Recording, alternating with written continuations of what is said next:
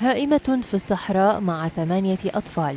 هربت أم مصطفى العراقية بعد أن قتل رب أسرتها على يد الإرهابيين ونجت هي وأطفالها ضحت بكل ما تملك طلبا للأمان في مناطق الشمال السوري المحرر وصولا لمدينة إدلب فوجدت نفسها غارقة في مستنقع الغربة والفقر والجوع في غرفة تفتقر لأدنى متطلبات العيش. مصطفى عراقي من العراق. تهجرت آه، من العراق آه، صار لي سنة وثلاث أشهر إلى محافظة أدلب. تهجرنا بسبب يعني الظروف اللي يمر بها بلدي يعني القاسي. أعيش بغرفة غرفة واحدة وهي يعني ننام بها وناكل بها يعني ومثل ما يقولون يعني أغسل اولادي بها يعني كل كل المستلزمات اللي معيشيه هي بهالغرفة هاي وحدها يعني. أم مصطفى وأولادها لا يجدون ما يقتاتون عليه سوى حشائش الأرض فينامون وعينها تبقى مفتوحة خوفا من مصير مجهول ينتظرهم وإياها. نجيب اللي, اللي مثلا الخضرة. يعني هي شنو الخضرة؟ مثلا شيء بسيط يعني من هالخضرة اللي تبقى. اللي هي شوي تعبانة.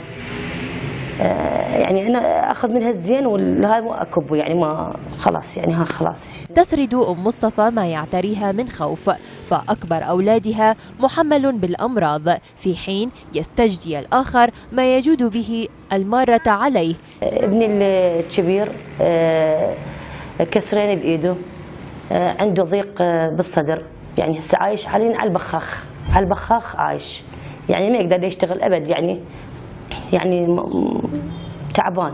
آه، آه، راسه آه، صار عنده حرق يعني براسه صار حرق عنده براسه فصارت عنده حاله نفسية يعني.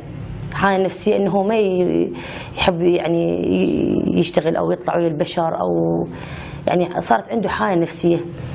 عندي يعني ابني هذا اللي عمره عشر سنين اللي هو ما يعرف يكتب ولا يقرأ ولا أي شيء.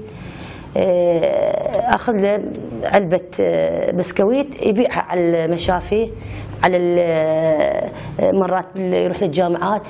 يضطرم أوار الحزن في داخل أم مصطفى فهي تنتمي لعراق الثروة الطائلة وأولادها جياع تعيش ذليلة يلفها الحزن والفقر والحرمان بروحها النقية التي تشبه جرحا مفتوحا على الدوام يمكن أن تنكأه نسمة هواء خفيفة جرح لا يندمل لكنه يجيد الاختباء خلف ستارة يسدلها دائما على ملامحها.